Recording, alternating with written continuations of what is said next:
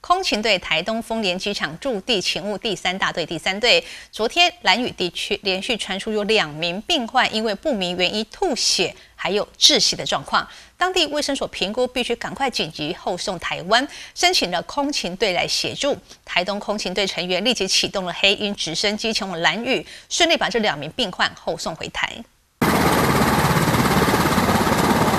空勤队员正将伤患运下直升机，准备送往医院进行治疗。昨日晚间六点十分，台东空勤队接获总队通知，表示在兰屿地区一名六十三年次的林姓女子，因为不明原因吐血，兰屿卫生所评估后申请后送返台。空勤队立即派遣编号 NA 七零四号机执行任务，晚间六点四十分时起飞，并在兰屿机场搭载伤患后，晚间七点三十三分时飞回台东机场，成功将伤患后送回台治疗。而在不到五个小时的时间内，台东空勤队再次接获总队的通知，同样是在兰屿地区，一名四十九年次的杜姓男子，因为窒息的状况，也需紧急后送回台。空勤队再次出动，在凌晨十二点十六分时起飞，搭载病患一员以及病患家属一名，合计两名成员后，返回台东丰原机场，并在一点四十分时成功降落，将伤患交由救护人员转送医院进行后续的治疗，圆满的完成两次的后送任务。记者陈继林兰屿乡报道。